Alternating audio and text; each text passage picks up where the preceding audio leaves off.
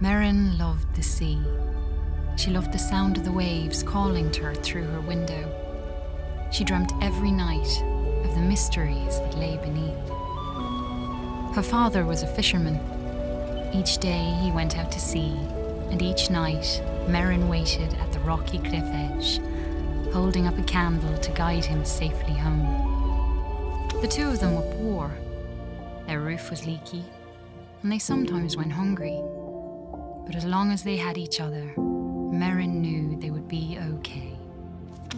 At night, her father sang her songs about his great adventures. He sang of giant leviathan serpents, haunted caves, and a lost city of gold beneath the sea. Merryn knew the stories weren't real, but she loved to listen to them. She drifted off to sleep, imagining the wonders of the world below. And her life continued that way, simply and happily. Until one night, her father didn't return. Merryn held up her candle at the cliff's edge all through the night, staring out at the empty sea. She shivered in the cold wind as she watched for him all the next day. Her eyes welled with tears as night fell again and there was still no sign of her father. At last, she collapsed into sleep. In her dreams, she saw him, trapped deep beneath the sea, calling to her for help. She awoke with a jolt. A desperate and dangerous plan was already forming in her head. She took scraps of metal and wood her father had caught in his nets and pieced them together. She hammered and bolted, she measured and sawed. And before the sun had set, she had built a tiny, rickety submarine. With trembling hands, she squeezed inside and dove down beneath the waves to search for her father.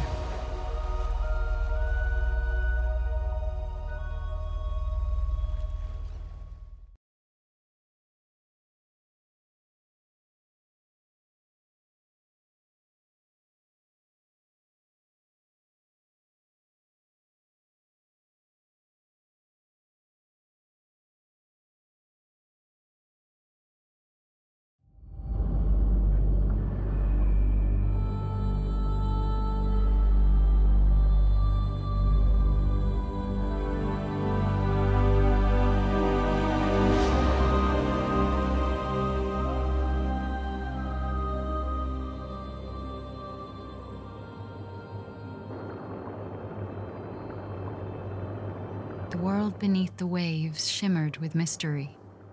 Glow kelp bulbs lit up around her as she passed by.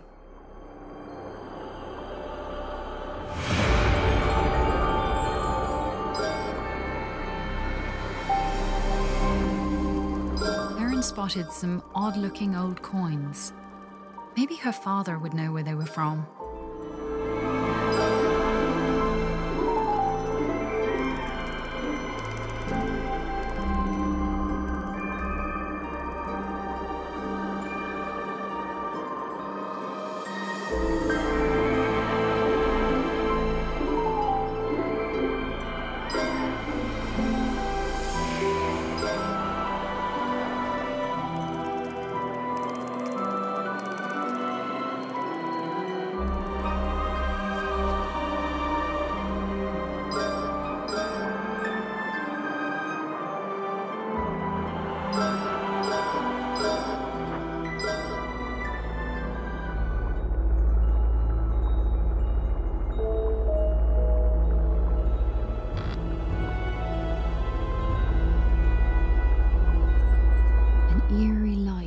Flickered and danced on the sea floor like an underwater fire.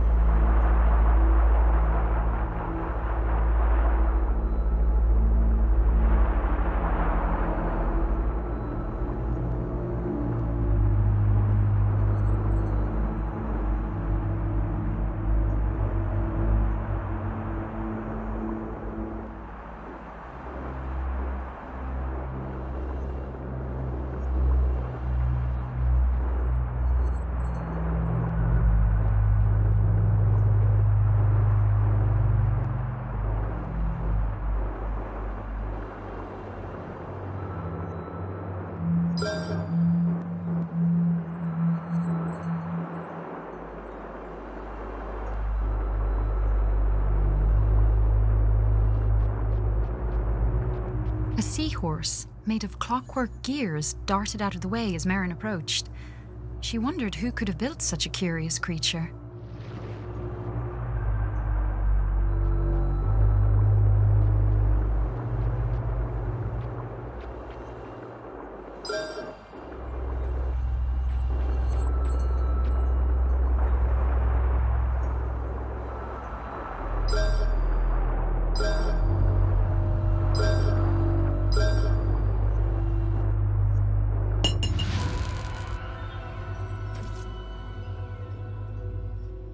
Merryn approached a glowing scrap of metal and pulled it inside. It was claw shaped and had a strong magnetic pull. She took out her tools and attached it to a firing mechanism on her steering column.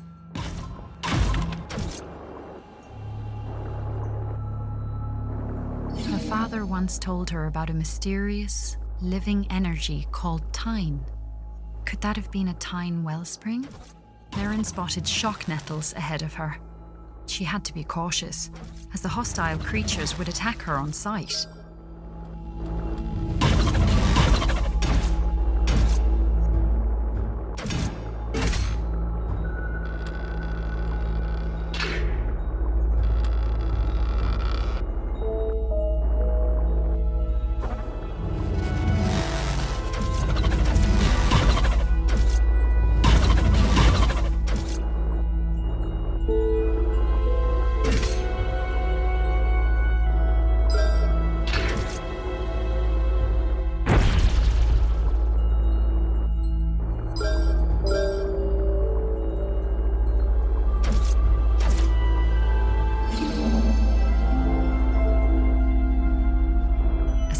Guardian blocked Merryn's path. She knew it all too well from her father's stories, and she knew it must never be woken.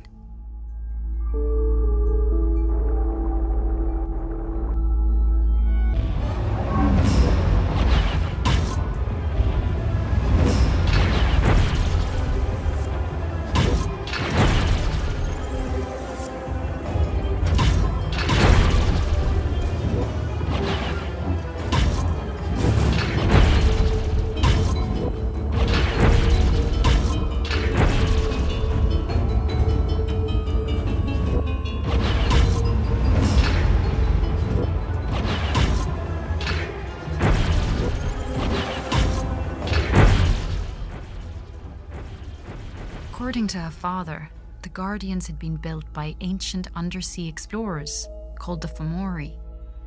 Merryn always thought the Fomori were a myth. Now she wondered if her father's other stories might be true. The twisted forms of sunken ships stretched out in the distance. Was her father's boat somewhere among them?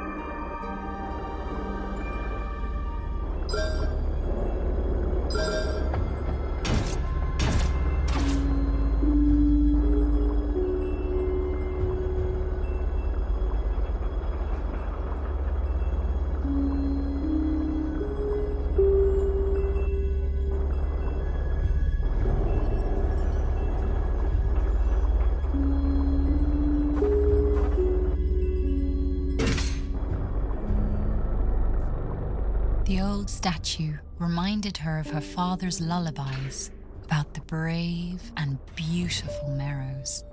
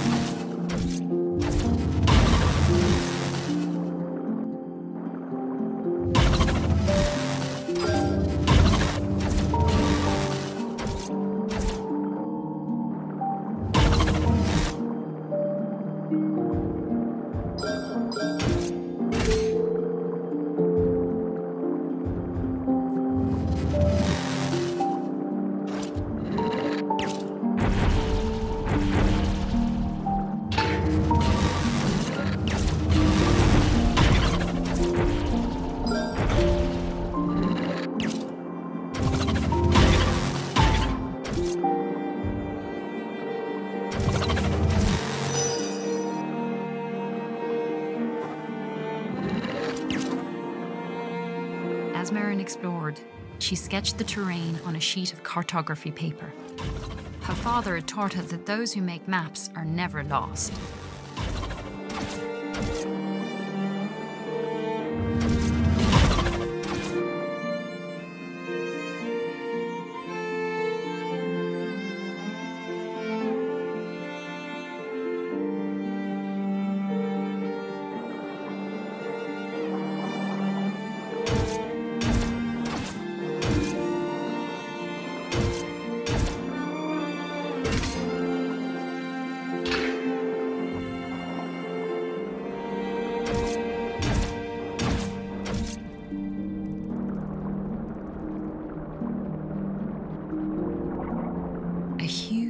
Hermit crab watched Merryn from a rocky ledge.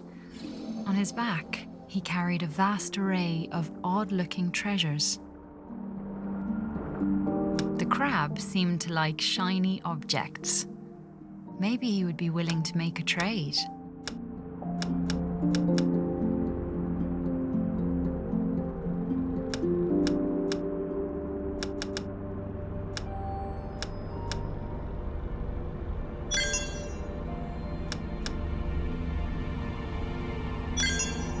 Using materials she bought from the hermit crab, Merryn took out her tools and made a quick modification to her magnetic claw.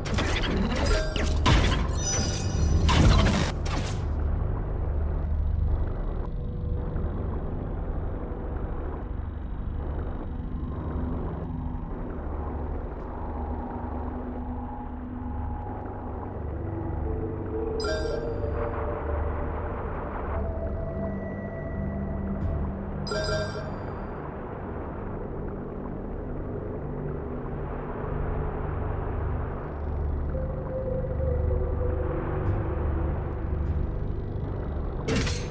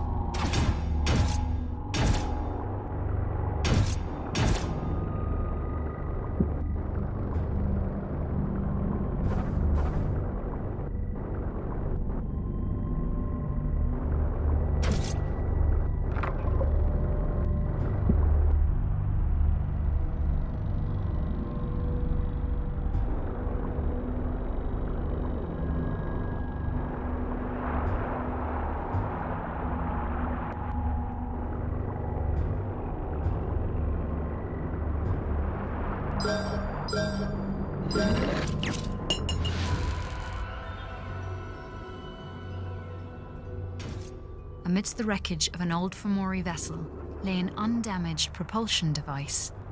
Merryn bolted it onto the back of her submarine, eager to test out its effects on her lightweight craft.